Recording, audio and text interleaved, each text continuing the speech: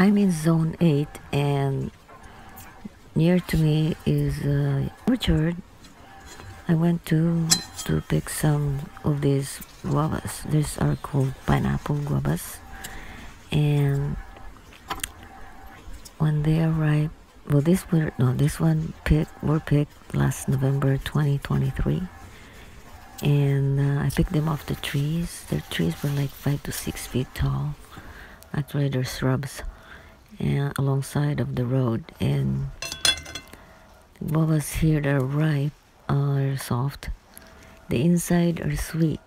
But since I eat also the um, wrap with the skin is very sour.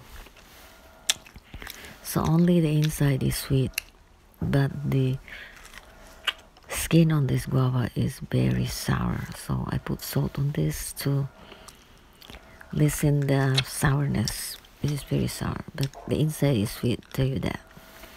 These are the pineapple guava.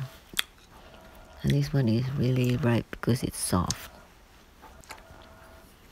So I put salt in there like you see. And to make it tolerable I can eat them but yeah they're sour. Very sour